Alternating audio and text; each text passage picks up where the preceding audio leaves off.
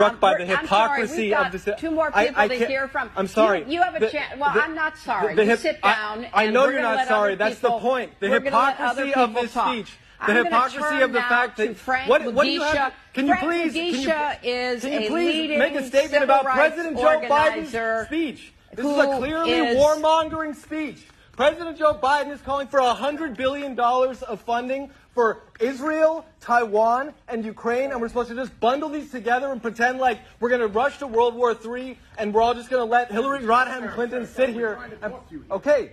I'm Yes. sorry. You know, Yes. this is not What- what- this is No, not the way no, to have no, a that- I'm conversation. sorry. If you want My- to have a conversation, you're No, welcome to come you- talk to you me can, afterwards. You can sit here.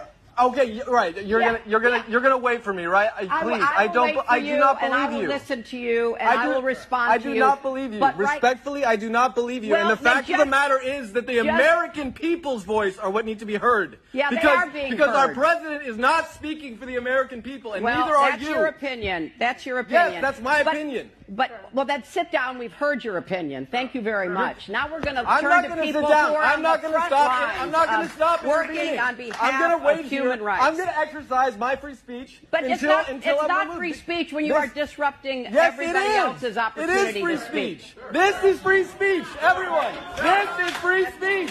That is not free speech. This is people t- constructing narratives that are openly hypocritical. I'm sorry. You, the, the incredible hypocrisy. You know, tell maybe me you John actually- Dulles went with Eleanor Roosevelt to bring this Declaration of the Rights of Man. John Foster Dulles was involved with the CIA.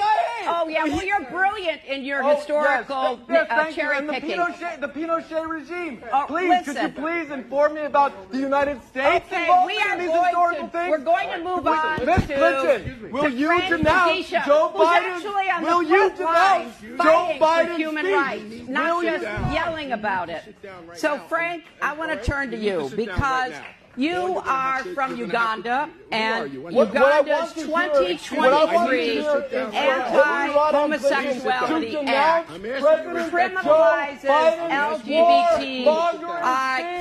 Biden's LGBTI warmongering speech. He's in trying Uganda. to push us to World War And- III. oh, Do you understand? It's not about Israel and Palestine. It's not Please. about. It's not football. This isn't football. It's not Team America. Well, I'm sorry, but some of us are on Team America despite our flaws and our Yes, problems. yes, And that, that's me.